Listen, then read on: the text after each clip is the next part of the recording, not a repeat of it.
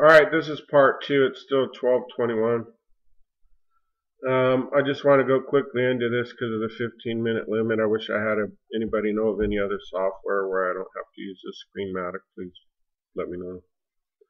Um, we ended off with this school being demolished.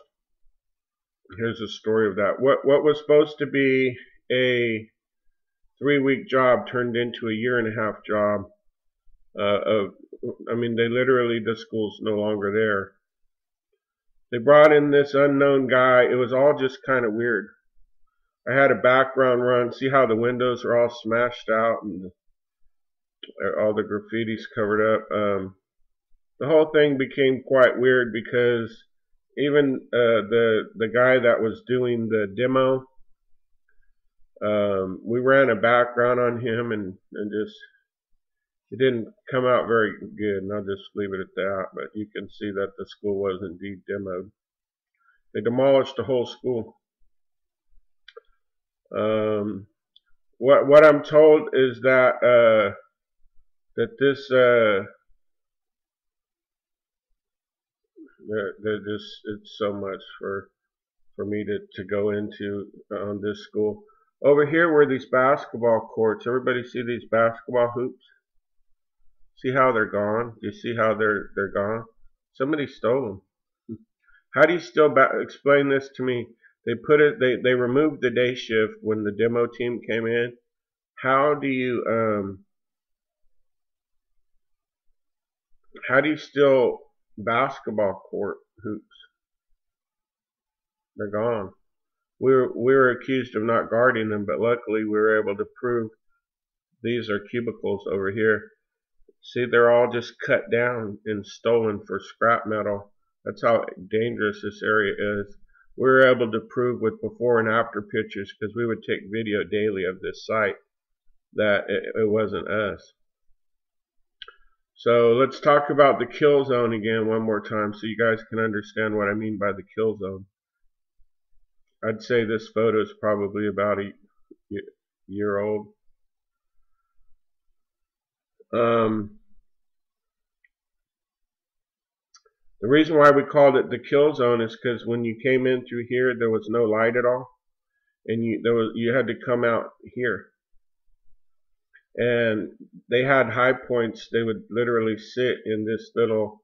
It's like a, a, inverted, inverted area where they could hide. All of the wiring on top of the school had been gone people would follow you in, and these owls like guarded the entrance to this. These four white owls would basically threaten you. See these tall trees right here? You know, I used to park a car right here because I had a view of. It's all about how I had a view of this. If they, I had a view behind me. I literally drove my car into here, Crown Vic, and pulled my weapon multiple times around this area. Usually gang members, almost always. Um, but after a while, they got the idea, just like every other site we did. Uh, so entering the kill zone, you had to get past the four white owls, and then you had to get past all the satanic graffiti, and then an arson in here, and the smell of smoke. And the goal was to come out the other side alive by yourself at night with no light except for your flashlight. And, and understand they have the high ground. All these windows were smashed out there was satan. All these windows were smashed out. There's no alarm. There's, and when I mean no power, there's no power, no alarm. And so we would call the police. Now they could show up here and meet us, or they could show up here at a gate, or here at a gate, or even over here at a gate. But you know what would happen was they just refused to respond to our calls. They said that's what armed security is for. You know, they, they, there was no reason for us to respond. Sometimes even in life-threatening uh, situations. And when they did respond to Rob, um, they didn't back him up and they let the gang member go. And that is the officer that showed up at my house. So anyway, long story short, on 11 11 11, I was Rob was out here and he called for code 3 cover. So it took me like five minutes going like 90 miles an hour to come up the freeway and to come in here and give him cover. And uh, the people or whatever it was. We don't know. We don't. We believe it was something supernatural. Vanished into this area. uh, there was benches in here you could sit on. So Rob and I, we cleared this whole area, and while Rob's over here, I'm watching his back over here because you could drive on this. Everybody see you can drive on this.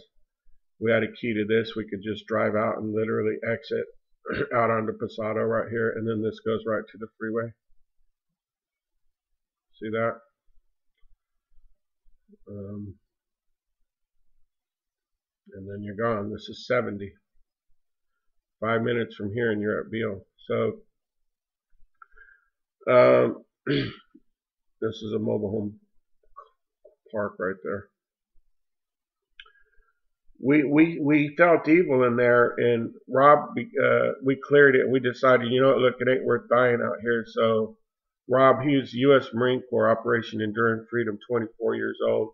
He he uh, we got to talking about some of the things he'd encountered, you know, if you can ever get close enough to a good Marine friend and they can open up to you about, you know, how they had to shoot people and didn't want to, that, you know, they don't, they don't open up to everybody. It, it's a good way to witness to them. And he's a strong Christian now.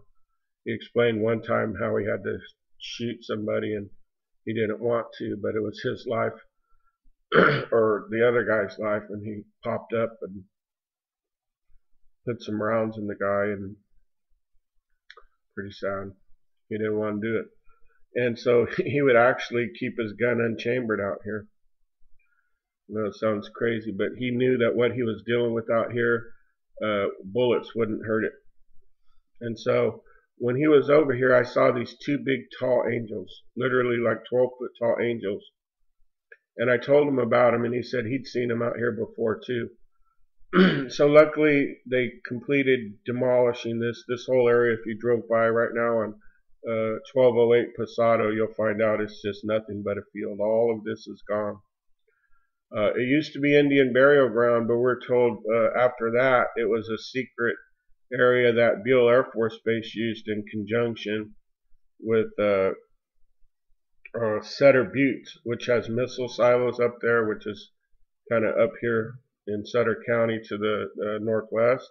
All three of them worked as a as a secret area to prepare for, you know, war. This was like way before I was even born. And then you have the airport route.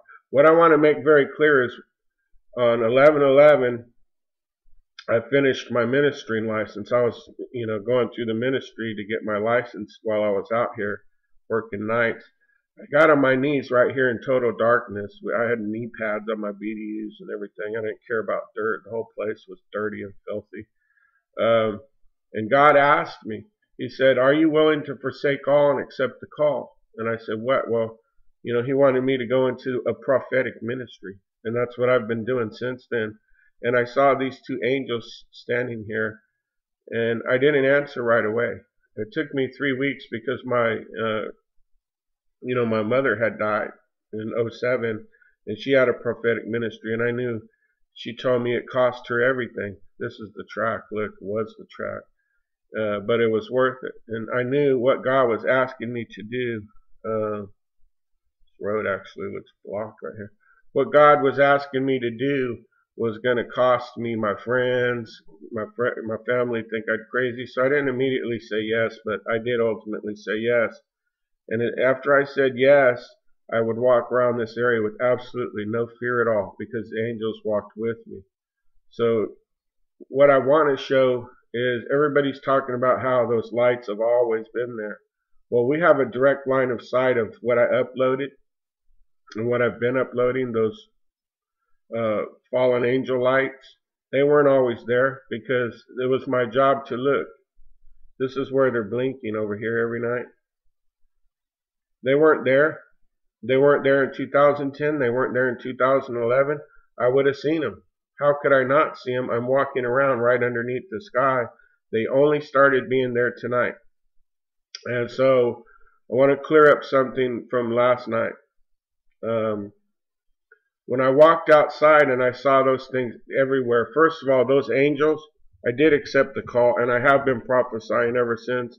And God has not been wrong yet once. And the moment I say something wrong, then I will delete my whole entire channel. But when I said yes, God has shown me things. And what He's shown me in the sky is Ezekiel 14 and uh, Revelation 12. And I'm going to tie that together. I just need more time. Those angels followed me to my house. I've seen them in my backyard. But they've also uh, followed me to, uh, how do you go to like your starting point, this? Or, um, I'll show you how close I live from here. But uh, basically down 70.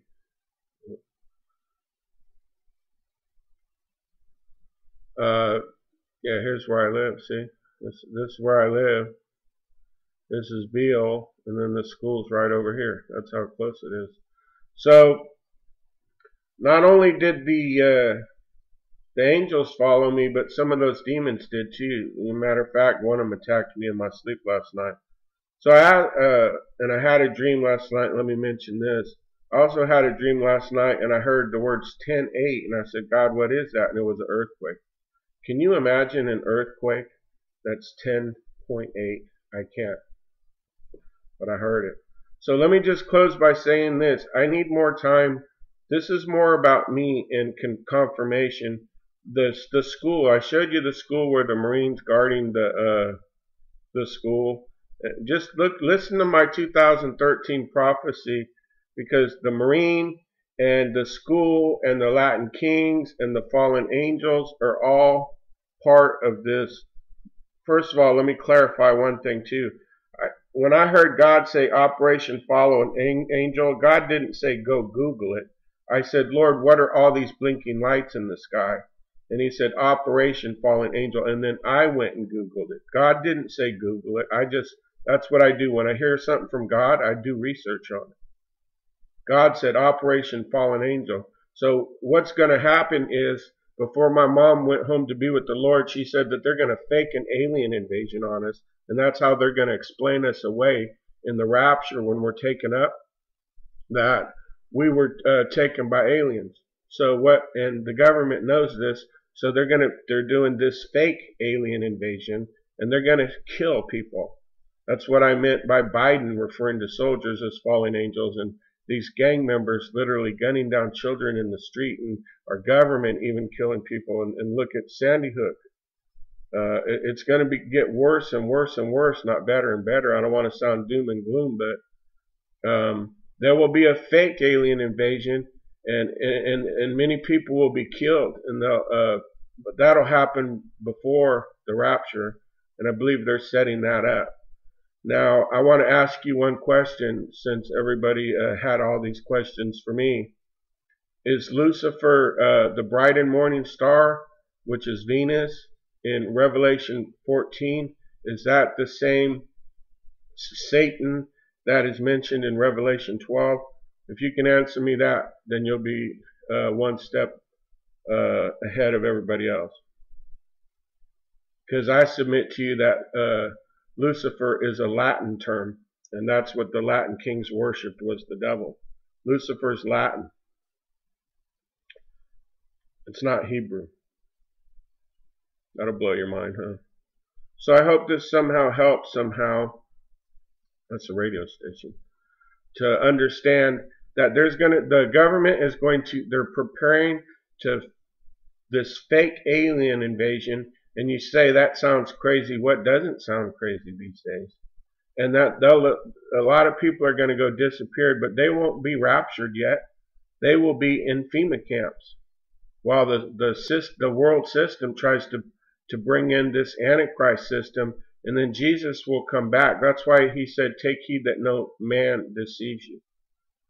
I know there's better ways to explain it. I, I mean, look, I, I have I have so many different um, I have so many different tabs to let me show you I showed you the I have all these different um, sources and I, I, just can't you know with today my wife getting ready to get re prepare for the holiday and taking a, a little mini vacation I, I, can't just rush this.